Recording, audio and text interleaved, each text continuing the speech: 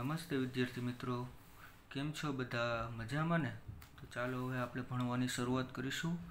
ધોરણ છ, વિજ્ઞાન, પાઠ નંબર ચાર. તો કે શું છે પાઠ નંબર ચાર? તો કે વસ્તુઓના જૂથ બનાવવા. બરોબર છે વિદ્યાર્થી મિત્રો? ધોરણ છ, વિજ્ઞાન, પાઠ નંબર ચાર, વસ્તુઓના જૂથ બનાવવા. તો ચાલો આપણે એના વિશે થોડીક સમજૂતી એટલે કે માહિતી લઈ લઈએ. બરોબર છે? તો એમાં જોઈએ તો કે આપણી આજુબાજુના પદાર્થો અને વસ્તુઓમાં વિવિધતા જોવા મળે છે. બરોબર છે વિદ્યાર્થી મિત્રો? વસ્તુઓના જૂથ બનાવવા એટલે શું કહેવાય? તો આપણી આજુબાજુના પદાર્થો જે રહેલા હોય એના વસ્તુઓમાં વિવિધતા જોવા મળે છે. તો કે પદાર્થ પદાર્થ કોને કહેવાય છે? તો કોઈ પણ વસ્તુ જેની બનેલી હોય તેને પદાર્થ કહેવાય છે. તો કે પદાર્થ કોને કહેવાય? તો કે કોઈ પણ વસ્તુ જેની બનેલી હોય, બરોબર છે, તેને પદાર્થ કહેવાય છે. તો કે ખુરશી એક વસ્તુ છે ઉદાહરણ તરીકે, ખુરશી એ એક વસ્તુ છે, બરોબર છે, વિદ્યાર્થી મિત્રો?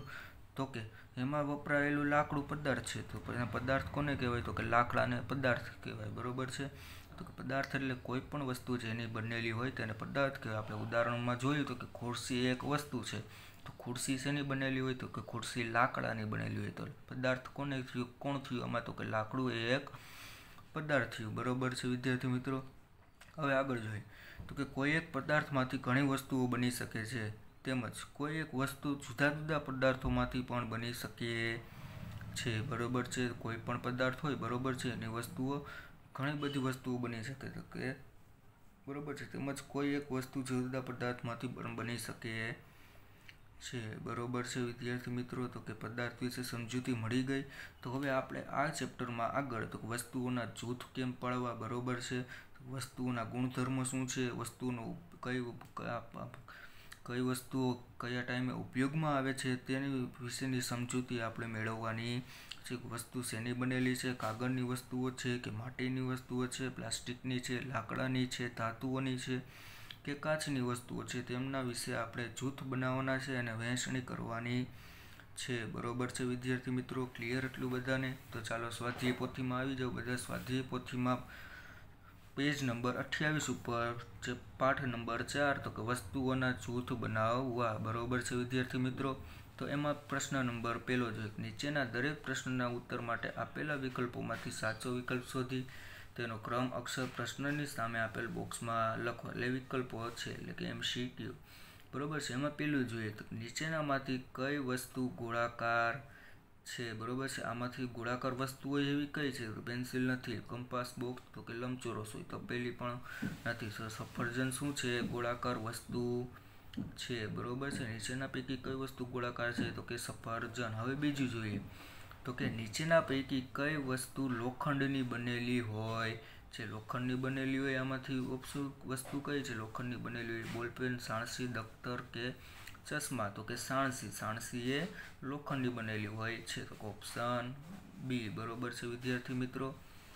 હવે ત્રીજું એ. નીચેના પૈકી કઈ વસ્તુ ચામડાની બનેલી હોય છે? ચામડાની બનેલી વસ્તુ કઈ? તો કે માપપટ્ટી, સ્લીપર, પટ્ટો કે ફ્રેમ તો કે ઓપ્શનમાં શું આવશે? આમાંથી તો કે ઓપ્શન સી, પટ્ટો એ ચામડાનો બનેલો હોય છે. શેનો બનેલો હોય છે વિદ્યાર્થી મિત્રો? તો કે ચામડાનો, બરાબર? હવે ચોથું જોઈએ તો કે નીચેના પૈકી કયો પદાર્થ ચમક ધરાવે છે? તો નીચેના પૈકી કયો પદાર્થ ચમક ધરાવે? તો પ્લાસ્ટિક, લાકડું, એલ્યુમિનિયમ કે ચામડું, બરોબર છે? નીચેના પૈકી કયો પદાર્થ ચમક ધરાવે? તો કે option C option C, aluminium એ ચમક ધરાવે છે. બરોબર છે વિદ્યાર્થી મિત્રો, એલ્યુમિનિયમ શું ધરાવે તો કે ચમક ધરાવે છે. હવે પાંચમું જોઈએ. નીચેના પૈકી કયો પદાર્થ પાણીમાં દ્રાવ્ય નથી? બરોબર નીચેના પૈકી કયો પદાર્થ પાણીમાં દ્રાવ્ય નથી? બરોબર, ખાંડ એ પાણીમાં ઓગળી જાય છે? હા. મીઠું પણ ઓગળી જાય છે. કોપર સલ્ફેટ પણ છે. તો રેતી રેતી એ પાણીમાં દ્રાવ્ય નથી. બરોબર છે વિદ્યાર્થીઓ? Option C. હવે છઠ્ઠું જોઈએ નીચેના પૈકી કયો પદાર્થ પાણીમાં દ્રાવ્ય છે? બરોબર છે. રેતી, ખાંડ, ચોક કે મીણ?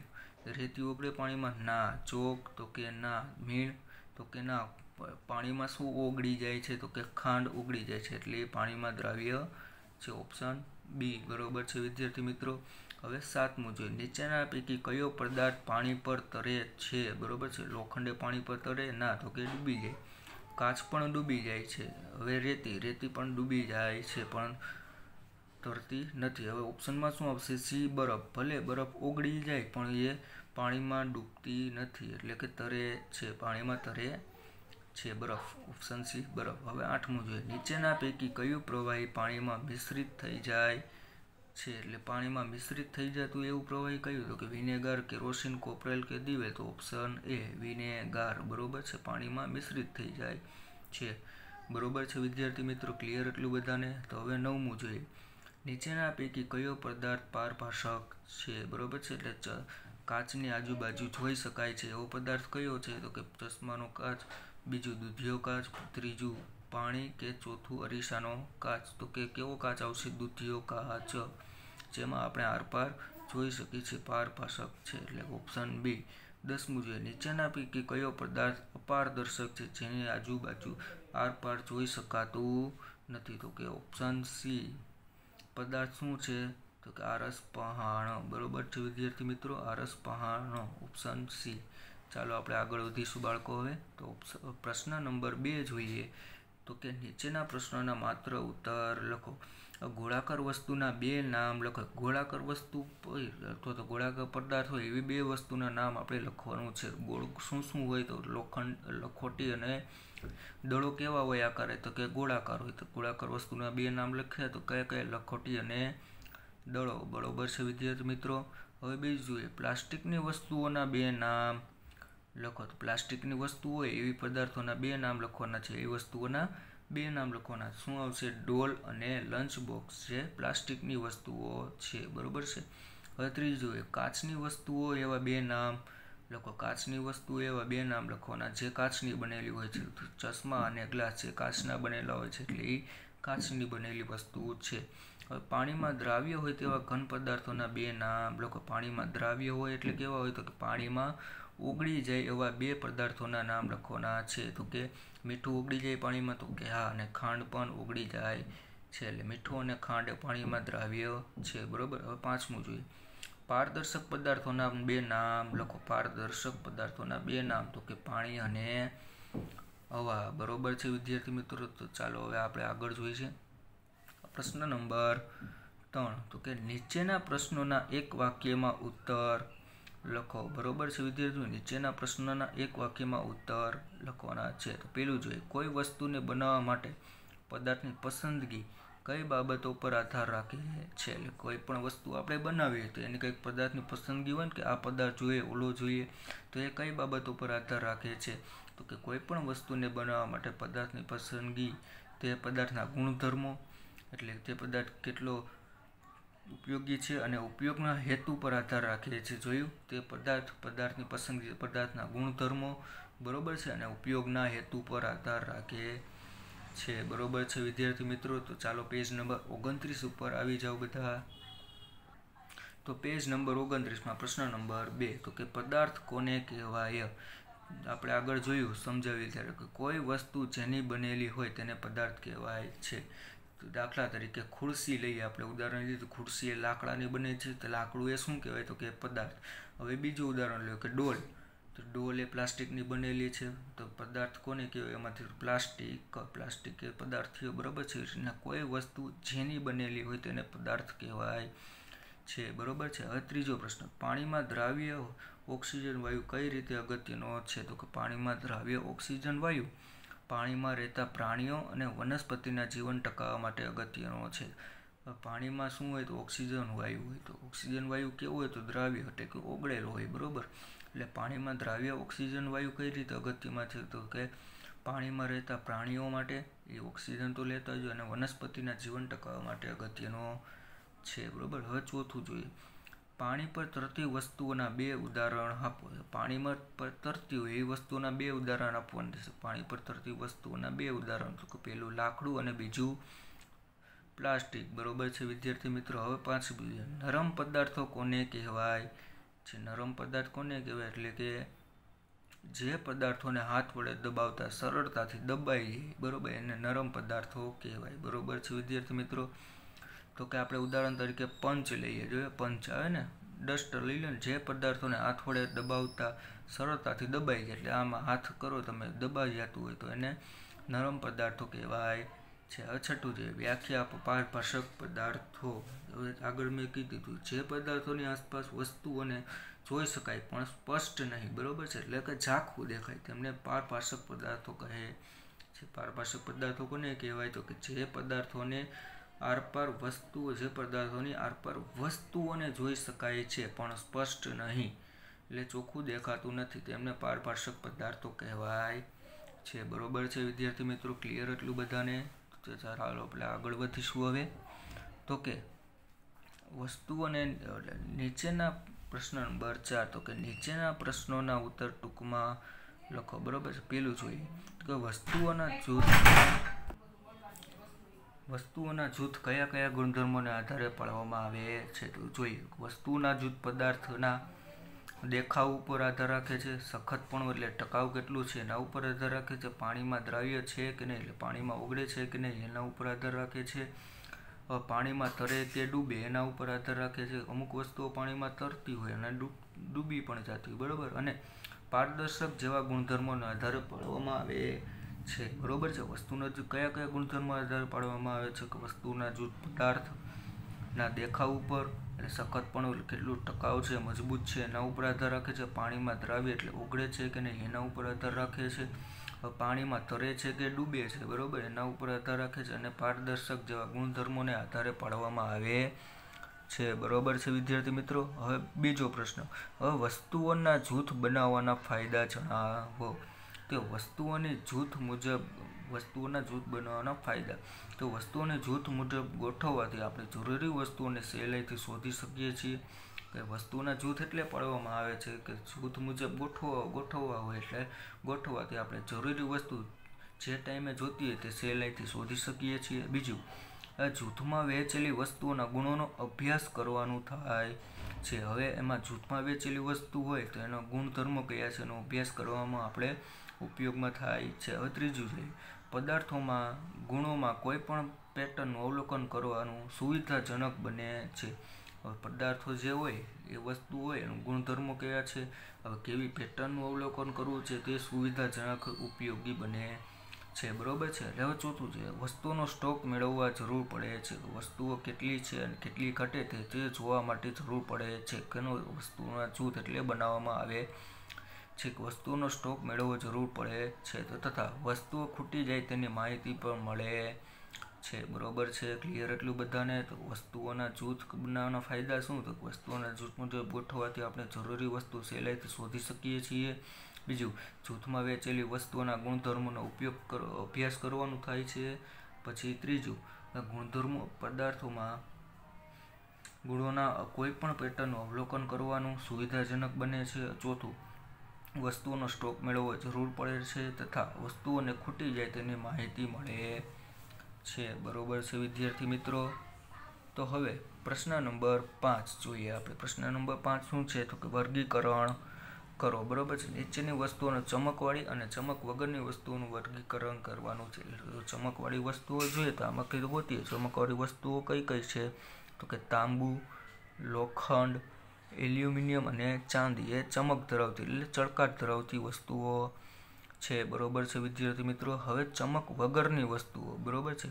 ચમક વગરની વસ્તુઓ કઈ છે જેમાં ચમક જ ન હોય જરા એને ખરબચડી હોય. ઈંટ, પથ્થર, લાકડું અને માટલું એ બધી કઈ વસ્તુઓ છે? તો ચમક વગરની. તો ચમકવાળી વસ્તુઓ કઈ છે? કે લોખંડ, તાંબુ, એલ્યુમિનિયમ ને ચાંદી એટલે કે ધાતુઓ. હવે ચમક વગરની વસ્તુઓ તો કે ઈંટ, પથ્થર લાકડું અને માટલું એ જ ચમક વગરની વસ્તુઓ છે. સમજાઈ ગયું બધાને વિદ્યાર્થી મિત્રો? ક્લિયર એટલું? તો હવે પેજ નંબર ત્રીસ ઉપર આવી જાઓ. બરોબર છે? તો ચાલો વિદ્યાર્થી મિત્રો પેજ નંબર ત્રીસ. બરોબર છે? બીજું વર્ગીકરણ આવ્યું. નીચેના પદાર્થો પાણીમાં દ્રાવ્ય એટલે પાણીમાં ઓગળી જાય એટલે તો પાણીમાં ન ઓગળે એવા પદાર્થોનું વર્ગીકરણ કરો. બરોબર?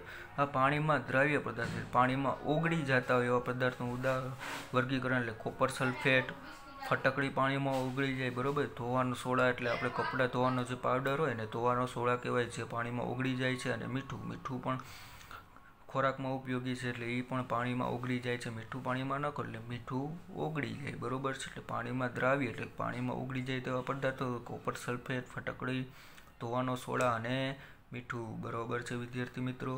હવે પાણીમાં અદ્રાવ્ય પદાર્થ, એટલે પાણીમાં ઓગળતા ન હોય તેવા પદાર્થો કે કાચ પછી લોખંડનો ભૂકો પાણીમાં ન ઓગળે, પછી તેલનો ઓગળે અને પ્લાસ્ટિક પણ પાણીમાં ઓગળતું નથી. જે આ વસ્તુ બરોબર છે? વિદ્યાર્થી મિત્રો ક્લિયર એટલું બધાને? સરસ. હવે છઠ્ઠો પ્રશ્ન જોઈએ તો ખરા વિધાન સામે રાઈટ અને ખોટા વિધાન સામે રોંગની નિશાન એટલે ખરા ખોટા છે. ચોક પાણીમાં દ્રાવ્ય છે, બરોબર છે? ચોક પાણીમાં નાખો તો ઓગળે કે ન ઓગળે? બરોબર છે? ચોક પાણીમાં દ્રાવ્ય છે એટલે કે ખોટું, ઓગળી જાય છે, બરોબર છે? ખોટું આવશે. બીજું જોઈએ. લોખંડની ખીલી પાણીમાં તરે છે. ના, ખોટું. લોખંડની ખીલી હોય, પાણીમાં નાખો તો એ ડૂબી જાય. બરોબર છે વિદ્યાર્થી મિત્રો? તો આમાં શું કીધું છે? લોખંડની ખીલી પાણીમાં તરે છે એટલે ખોટું. હવે બરફનો મોટો ટુકડો પાણીમાં ડૂબી જાય છે. બરોબર? બરફનો મોટો ટુકડો પાણીમાં ડૂબી જાય કોઈ ના, બરફનો મોટો ટુકડો પાણીમાં તરે છે. એટલે આમાં શું કીધું છે? બરફનો મોટો ટુકડો પાણીમાં ડૂબી જાય છે. એટલે શું આવશે? ખોટું. હવે ચોથું છે, ધાતુ ચમક ધરાવે છે. બરોબર છે, એટલે ધાતુ ચમક ધરાવે છે તો કે હા, સાચું. આગળ વર્ગીકરણમાં જોયું તો કે એલ્યુમિનિયમ, બરોબર, એ ચમક ધરાવે છે. ચાંદી, બરોબર, એ બધું ચમક ધરાવે છે. એટલે શું આવશે? સાચું. હવે પાંચમું જોઈએ પેટ્રોલ પાણીમાં મિશ્રિત થઈ જાય છે. ના, ખોટું. પેટ્રોલ પણ પાણી ઉપર તરે છે, જે આપણે ચોખ્ખું દેખાય છે. એટલે પેટ્રોલ પાણીમાં મિશ્રિત છે, એટલે શું આવશે? ખોટું. હવે છઠ્ઠું છે સરકો વિનેગર પાણીમાં દ્રાવ્ય હોય છે એટલે સરકો વિનેગર પાણીમાં દ્રાવ્ય હોય છે તો કે હા, સાચું. વિનેગર પાણીમાં દ્રાવ્ય હોય છે, સાચું. બરોબર છે? ક્લિયર એટલું બધાને બાળકો? ચાલો હવે આપણે આગળ વધીએ તો પ્રશ્ન નંબર સાત જોડકા જોડવાના કીધા છે. બરોબર છે વિદ્યાર્થી મિત્રો? તાંબુ, તો તાંબાની સામે શું આવશે? તાંબુ કેવું હોય? તો કે મજબૂત સખત હોય. બરાબર? એટલે પહેલામાં શું આવશે? બી, સખત. તાંબુ કેવું હોય તો કે સખત હોય, બરાબર? મીણ. તો મીણ કેવો હોય તો કે નરમ હોય. મીણ પદાર્થ કેવો હોય તો કે નરમ. એટલે બીજામાં શું આવશે ડી. નરમ. હવે કાચ કેવો હોય તો કે પારદર્શક, જેની આજુબાજુ જોઈ શકાય છે. બરાબર છે? કાચ કેવો હોય તો કોઈ પારદર્શક. ત્રીજામાં એ. પાણી અને તેલનું મિશ્રણ. તો કે મિશ્રણ થતા નથી. એટલે મિશ્રિત થતા નથી. એટલે ભેગા થતા નથી. બરાબર? ચોથામાં સી આવશે. બરાબર છે, વિદ્યાર્થી મિત્રો? ક્લિયર? એટલું બધાને? હવે પ્રશ્ન નંબર આઠ. નીચે આપેલ વસ્તુઓને તે જેમાંથી બનાવવામાં આવે છે તે પદાર્થો સાથે જોડો. તો પુસ્તક, કયું પુસ્તક શેમાંથી બનાવવામાં આવે છે તો કે કાગળમાંથી બનાવવામાં આવે છે. એટલે આગળ આપણે શું લખીશું? કાગળ. બરાબર છે? તો કે પ્યાલો. પ્યાલો શેમાંથી બનાવવામાં આવે પ્યાલો, બરાબર? બે વસ્તુના બનેલા હોય. પહેલાં કાચનો પણ હોય અને પ્લાસ્ટિકનો પણ. એમાં શું આવશે? કાચ અને પ્લાસ્ટિક બંને આવશે, બરાબર? પ્યાલો શેનો બનેલો હોય, કાચ અને પ્લાસ્ટિકનો. હવે ત્રીજું જોઈએ, ખુરશી. ખુરશી શેની બનેલી હોય? તો ખુરશી પ્લાસ્ટિકની પણ બનેલી હોય અને લાકડાની પણ બનેલી હોય. છે, એટલે ખુરશીમાં શું આવશે? લાકડું અને પ્લાસ્ટિક બનેલી, પ્લાસ્ટિક બંને આવશે, બરાબર? રમકડું. રમકડું શાનું બનેલું હોય? તો રમકડું પણ લાકડું અને પ્લાસ્ટિકનું બનેલું હોય છે. તો રમકડામાં શું આવશે? લાકડું અને પ્લાસ્ટિક. બરોબર છે, વિદ્યાર્થી મિત્રો? ચંપલ, તો ચંપલ શેના બનેલા હોય? તો ચપ્પલ, ચામડાના બનેલા ચપ્પલમાં શું આવશે? ચામડું. બરોબર છે? ક્લિયર એટલું બધાને વિદ્યાર્થી મિત્રો? તો અહીંયા પાઠ નંબર ચાર, ધોરણ પાંચ, વિજ્ઞાન. પાઠ નંબર ચાર પૂરું થાય છે. બરોબર છે વિદ્યાર્થી મિત્રો? તો હવે આવતા લેક્ચરમાં આપણે નવા ચેપ્ટર એટલે કે પાઠ નંબર પાંચની શરૂઆત કરીશું. બરોબર છે વિદ્યાર્થી મિત્રો? તો આજે જેટલું કરાવ્યું છે, તમને સ્વાધ્યાય પોથીમાં બરોબર છે. તે તમારે તમારી સ્વાધ્યાય પોથીમાં હોમવર્કમાં લખવાનું છે અને વાંચવાનું પણ છે પણ છે. એટલે વાંચી વાંચીને લખવાનું છે. બરોબર છે વિદ્યાર્થી મિત્રો? ક્લિયર એટલું બધાને સમજાઈ ગયું ને? સરસ. તો ચાલો આજે એટલું રાખીશું આપણે. નમસ્તે બાળકો.